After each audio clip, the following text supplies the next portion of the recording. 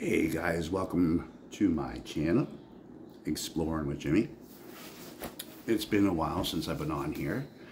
Um, you haven't seen me, unless you've been watching my TikToks, because I've been on TikTok the last three years.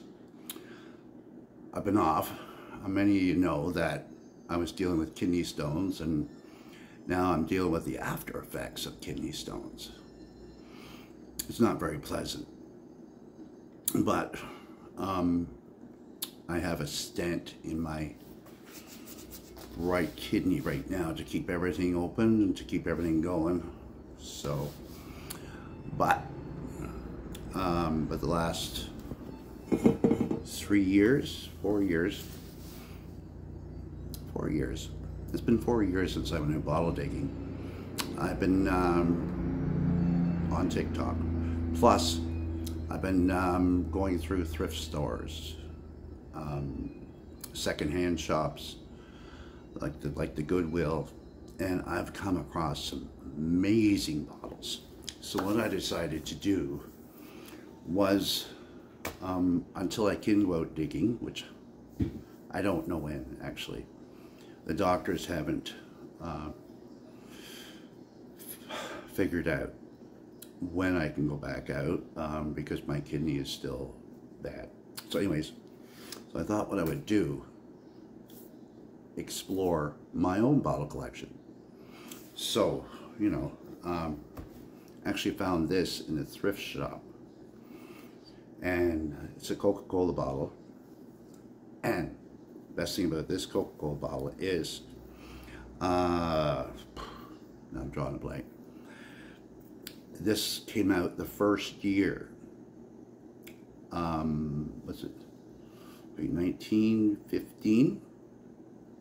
Was the first year Coke used this design, and it was it was a good one because they still use it to this day.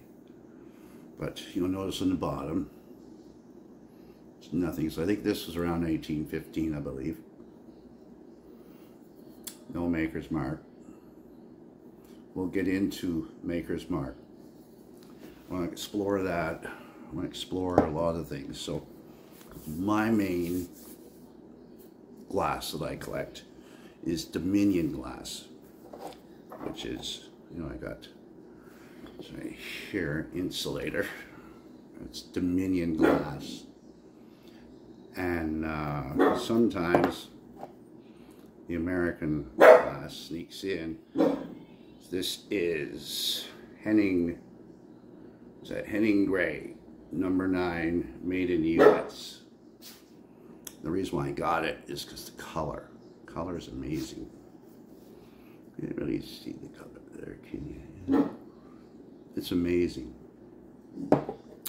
So, my glass collection spans from about 1850 basically right through to 1960s, early 70s.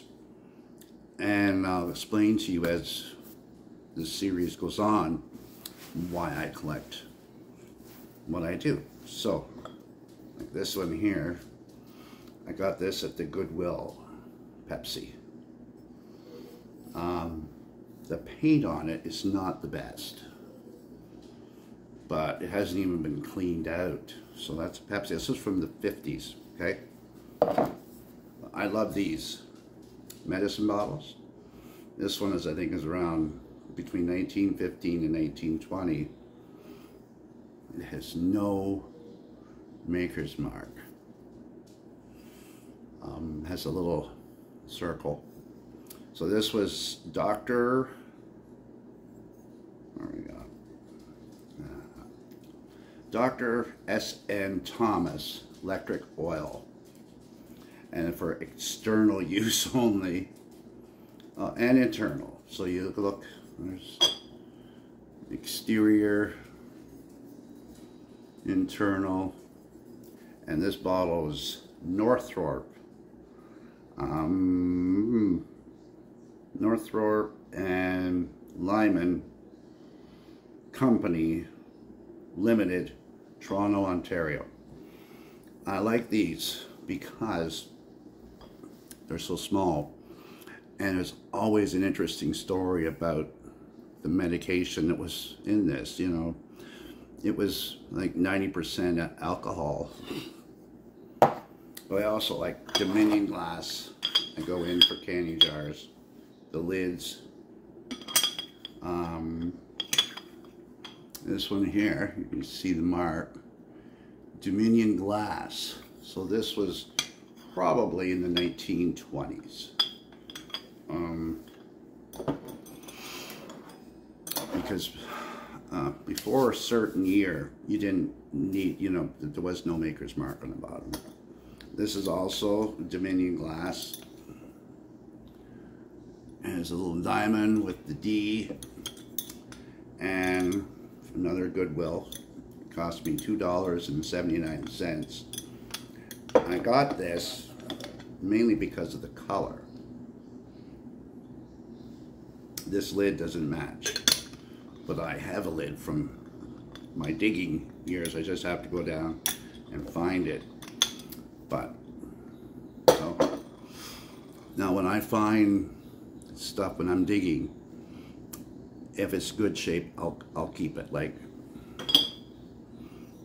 the crown jar lids, I've got these, um, I don't know, I must have about 60 or 70 of them sitting in a box. S starting when they were first made in Hamilton, Ontario. Um, to dig out that one. So that's what I collect. Of course, milk bottle. And this one is Crystal Dairy, Harriston, Ontario. And it would be, I don't know, late 40s, early 50s. And This one here is a green spot. And this was orange juice. So if you've ever found it, this one here is made um,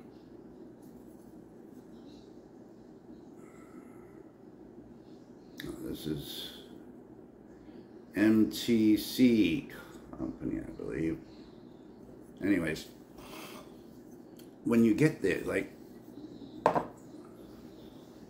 I like buying bottles with the labels on? Because uh, you know you you guys know when you go digging you you know you pull out a bottle there's no label on it. And let's just say this one here for instance had no label. I've seen a lot of guys just toss it. Well that's that's not good because you're tossing out stuff that one you could be making money on.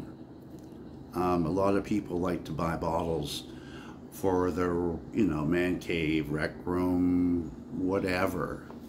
They want some bottles in it, and some people want them in their bathroom so you can get makeup bottles, perfume bottles. Uh, you can find the antique lipstick containers when you're digging, which I found.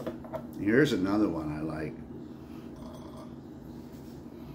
This is Poison, 1920, I believe, 1920 and you can see the little skull and crossbones. And it says poison on it and it's iodine.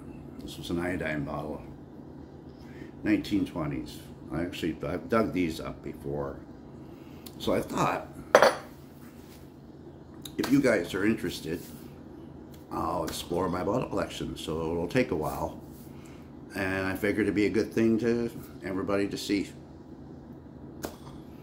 Let me know in the comments what you think and uh, if you're interested in seeing my collection.